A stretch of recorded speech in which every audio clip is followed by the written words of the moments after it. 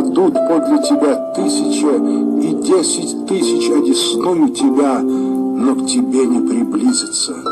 Только смотреть будешь очами твоими и видеть возмездие нечестивым, ибо ты сказал, Господь, упование мое, мое, Всевышнего избрал ты прибежищем твоим, не приключится тебе зло, поразит пред тобою Господь врагов твоих, восстающих на тебя, Одним путем они выступят против тебя, а семью путями побегут от тебя.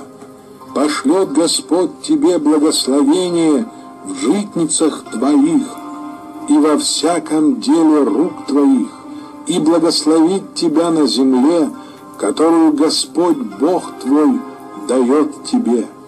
Поставит тебя Господь народом святым своим, как Он клялся тебе, если ты будешь соблюдать заповеди Господа Бога твоего. Откроет тебе Господь добрую сокровищницу свою, небо, чтоб оно давало дождь земле твоей во время свое, во время свое, и чтобы благословлять все дела рук твоих, и будешь давать взаймы многим народам, а сам не будешь брать взаймы.